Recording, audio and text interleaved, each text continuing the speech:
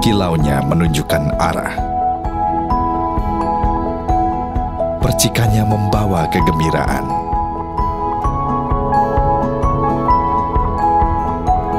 Hangatnya memberi ketenangan. Nyalanya menandai kehidupan.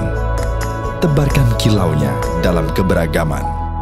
Cahaya kasih untuk bangsa.